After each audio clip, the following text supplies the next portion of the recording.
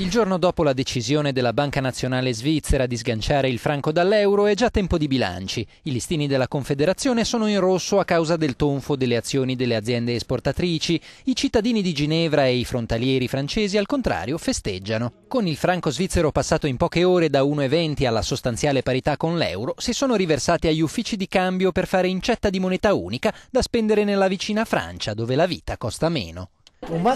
Per me è stata un'ottima notizia sotto ogni punto di vista, vacanze, shopping. Io faccio tanto shopping in Francia, è più economica della Svizzera, dice un abitante di Ginevra. Ed ora sarà persino più economica, dobbiamo sfruttare la situazione.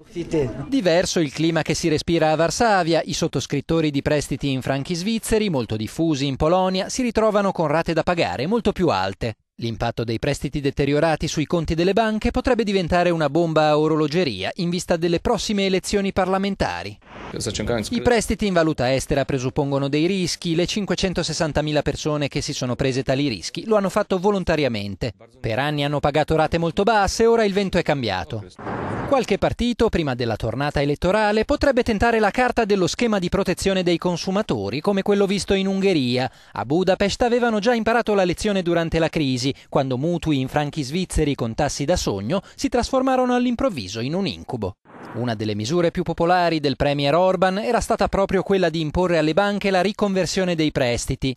Il piano, annunciato lo scorso novembre, ha fissato il cambio a 256 fiorini per franco svizzero, davvero provvidenziale visto il tonfo della valuta ungherese dopo la decisione della Banca Nazionale Svizzera.